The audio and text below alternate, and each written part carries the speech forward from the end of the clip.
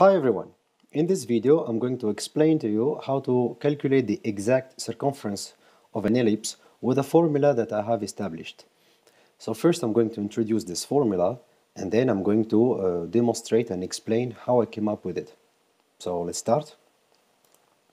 So the formula is the circumference C of an ellipse is 4 times pi over 2 power b over a times a, where a is the semi-major axis of the ellipse and b is the semi-minor axis of the ellipse. Okay, so let's see how I came up with this uh, formula, so demonstration and explanation. So first we will take a two-dimensional plane on which we will draw a circle that we call small c with a radius a. And uh, what I would like to do is I would like that we look at the circle, so we observe it uh, through z-axis where z-axis crosses the center of the circle. So just to, um, to draw what I just said, uh, to make it uh, easier to understand, uh, so this is uh, us, okay, so the, uh, the observer, okay, and so we are looking at this circle, uh, so we are looking at it through a z-axis which is crossing the center of the circle. And so what we will do, we will um, tilt or rotate the y plane, okay, so this y plane, we're going to rotate it by an angle theta around the x-axis. And so by doing so, the, uh, the uh, circle C becomes an ellipse with a semi-major axis A and a semi-minor axis B. And so this is exactly how I'm going to approach uh, this problem. This is exactly how I'm going to, uh, to, to, to, demonstrate this. Uh, so we can say that calculating the circumference of an ellipse is calculating the observed or the observable circumference of a circle from a different angle. Okay, so let's do this animation again, but uh, adding two, three details. So the first thing I would like, I would like to do is to, uh, to draw the, um, the vertical radius of this uh, circle. Uh, so just draw the, the, radius again, but vertically, uh, that we can uh, see here. And we're gonna tilt this again, so rotate the y-plane around the x-axis with, a, with an angle theta, and so we said that this becomes an ellipse with a semi-major axis a, okay, so a actually was the, the radius of the circle before it becomes an ellipse. So, uh, so it becomes an ellipse with a semi-major axis a and a semi-minor axis uh, b. But uh, where I would like to bring your attention is that the length b uh, is actually um, the height reached by the, um, by, by the vertical uh, radius A after uh, rotating it with an angle theta. And so if we want to calculate the value of B, it's not really complicated because actually the, the ratio between B uh, and A, so the ratio B to A, is actually the cosine of the angle theta. So calculating the, uh, the length B would be actually B equal to A times cosine theta. Okay, so just to summarize quickly what I just said, so after rotating the y-plane around the x-axis by an angle, so by the angle theta, observed from the z-axis passing through uh, the, the, the center of the circle, the circle C with the radius a becomes an ellipse with a semi-major axis a and a semi-minor axis b, where b is equal to a times cosine theta. Okay, so, uh, so then we can say that uh, the, uh, the, uh, the uh, circumference of the uh, ellipse depends on the value of theta, so depends on the rotation of the, by the angle theta, of the circle C, okay? So of, of the drawn on the y plane around the x-axis. So from this statement, from the state, from the statement, we um, we will actually um, uh, rotate uh, the circle uh, with different angles. Of course, I did not pick up random angles. I just took angles, um, specific angles that will support my demonstration. So let's start. so so let's take again the, this this drawing and uh, let's rotate the uh, y plane with an angle theta which is equal to 0 degrees. So rotating it by 0 degrees simply means not rotating it at all. And so if I ask you uh, what would become the, the semi-minor axis B, well, it didn't change, huh? it didn't change, so B is equal to A, okay, so when the angle theta is equal to 0, B is equal to A.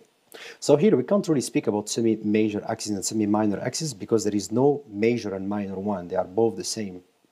And so this is what you can commonly call a circular ellipse, okay? If we want to stick with, um, with a, to, if you want to, to, to set up some regularities and speak about ellipses, okay? So this is what we would call a circular ellipse, where the semi-minor axis uh, uh, B is equal to the semi-major axis A.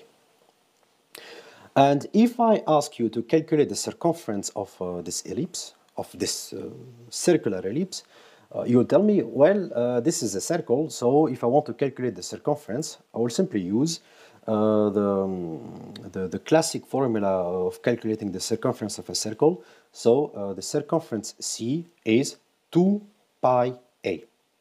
That's it, where a is the radius of the circle. All right, so let's um, do another one, but this time the angle theta is 90 degrees. So if I rotate the y-plane by 90 degrees around the x-axis, this ellipse would become completely flat.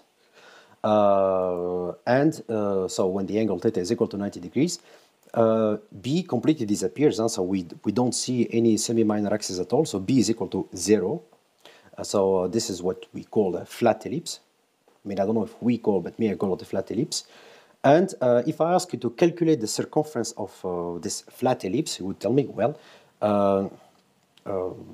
we can imagine that this is spinning around, so that's, that's 1 times A 2 times a, then 3 times a, and then you complete your turn, so 4 times a. Okay, so the circumference of this ellipse uh, is 4 times a.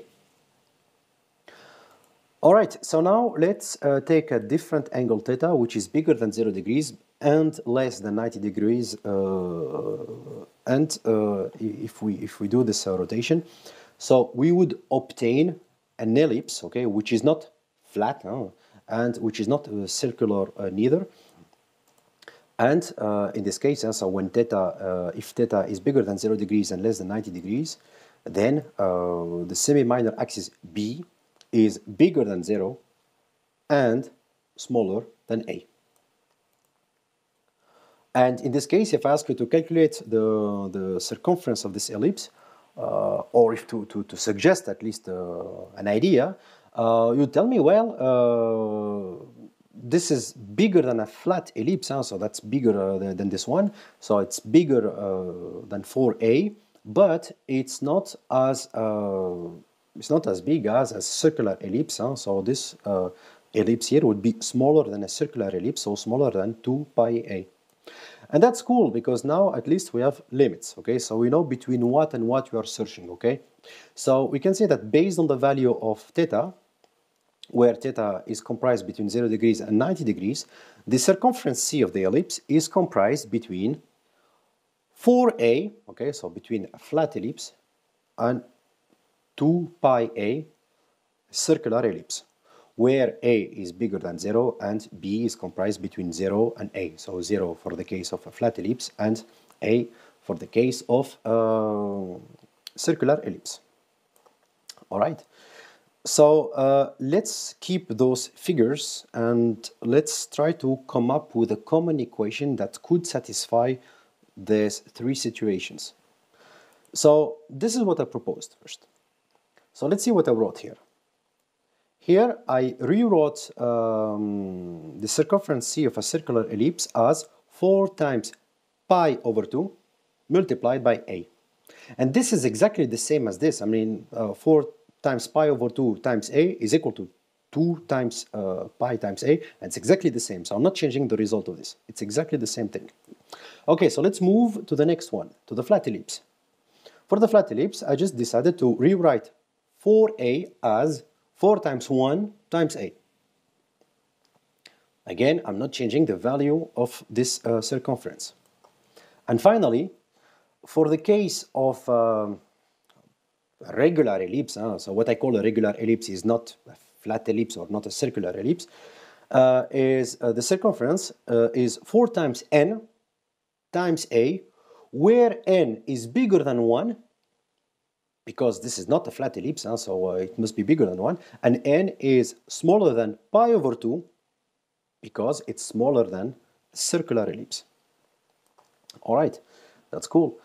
So, uh, so just to summarize this one quickly, then I can suggest that based on the value of theta, where theta is comprised between 0 degrees and 90 degrees, the circumference C of the ellipse is C equal to 4 times n times a, so 4 times a factor n times a, uh, a is the semi uh, uh, major uh, axis of the ellipse, where a is bigger than 0, naturally, and n, so this factor n, would be equal to pi over 2 when the angle theta is equal to 0 degrees. The factor n would be equal to 1 when the angle theta is equal to 90 degrees. And n, so this factor n, is bigger than 1 and smaller than pi over 2 when the angle theta is bigger than 0 degrees, so not a flat ellipse, and smaller than 90 degrees, so uh, smaller than a circular ellipse uh, in this case. So not a circular ellipse in this case, sorry.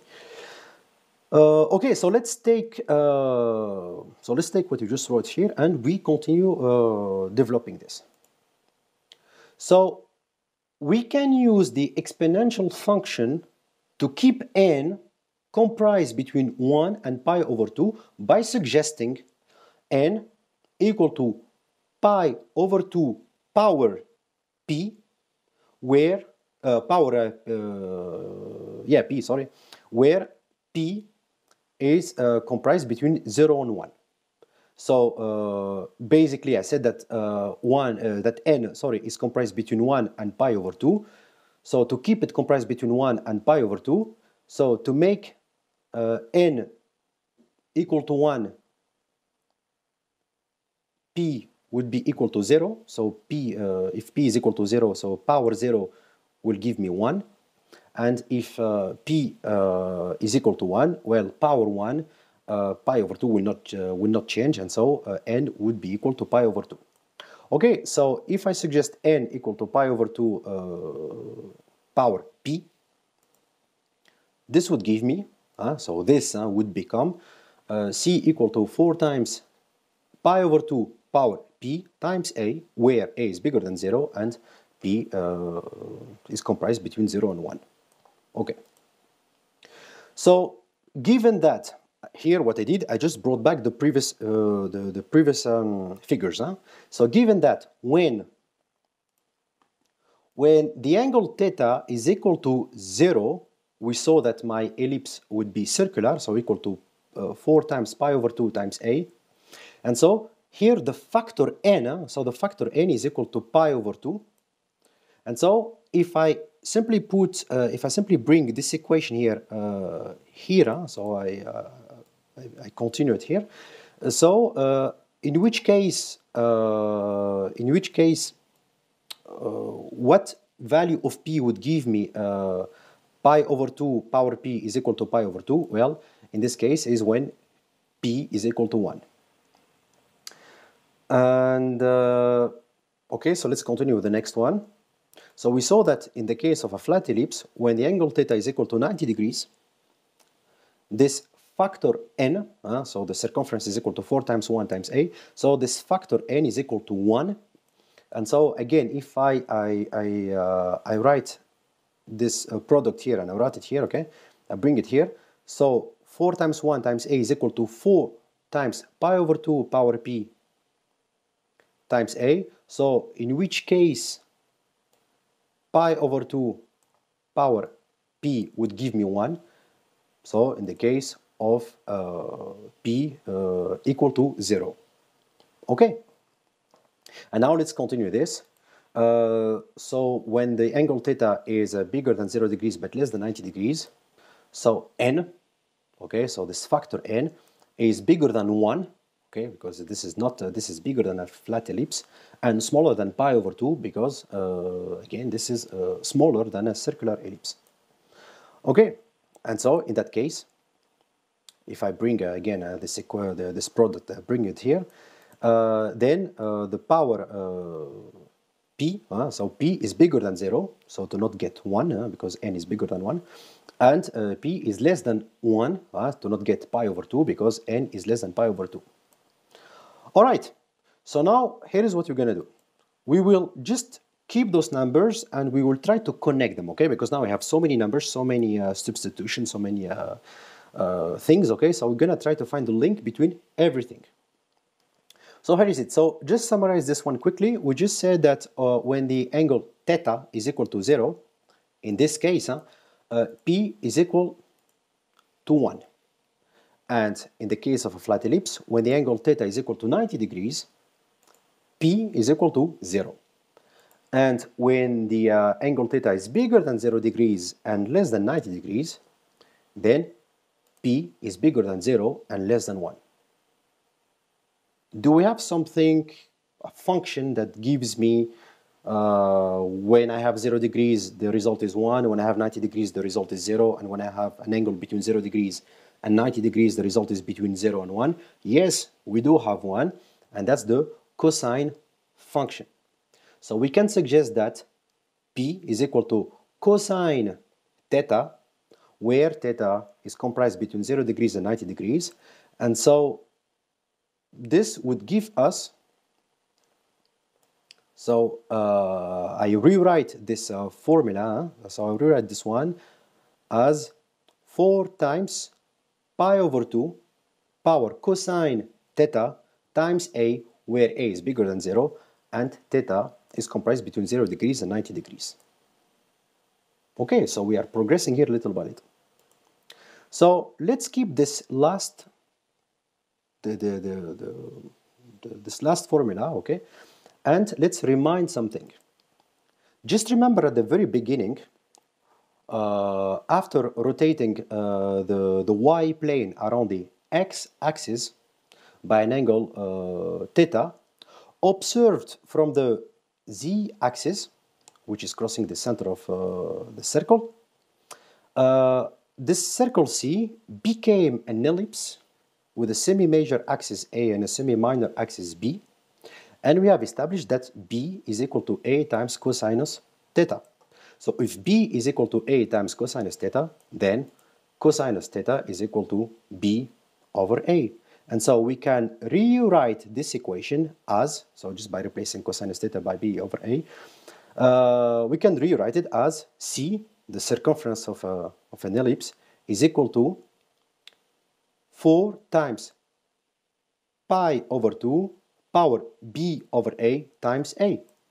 And so that's all. So this is uh, how I came up with uh, the, the, the, formula to calculate the exact circumference of an ellipse. So again, the circumference C, uh, the circumference C of an ellipse is equal to 4 times pi over 2 power b over a times a, where a is the semi-major axis of the ellipse and b is the semi-minor axis of the ellipse.